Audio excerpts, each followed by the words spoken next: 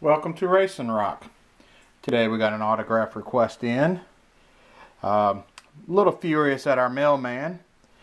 Um, I wasn't here when it was delivered, and maybe we had a new mailman. I don't know, but he literally, the mailman literally folded this album and shoved it into a regular size mailbox. I've never had that happen before. Clearly on the front of it, it says "Do not bend." Um, the regular mailman, I've had tons of these delivered over the past year, always sets it at the door.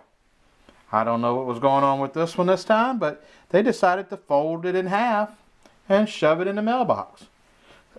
I even went around and looked for them because I wanted to see who it was. Couldn't find them, but um, nonetheless, I was none too happy with that. I'm sure everybody's had that experience with that time or two, but uh, even the corner down here is all chewed up and frayed. So who knows what this album cover is going to look like. But um, let's open it up and let's see what we get today.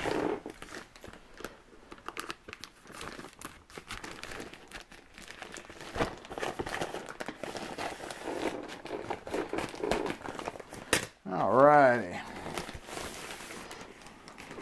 Look how folded that is. You see that?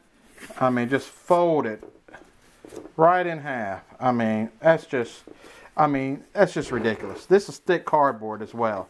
So it, it, it couldn't it couldn't have folded all that easy. I mean, just ridiculous. Totally ridiculous. But anyway, I'm not fussing. Let's see what we got. And I got Juice Newton back. I guess it didn't put a curve in it. I think it'll flatten out once I put the album cover back, a record back in it. But this record was like brand new. It's got some creases on the back, but the front is not too bad. But I got Juice Newton back. And she signed it right there. Um, beautiful album cover. Um, so this was gone. Um, let me get my list. Let's see.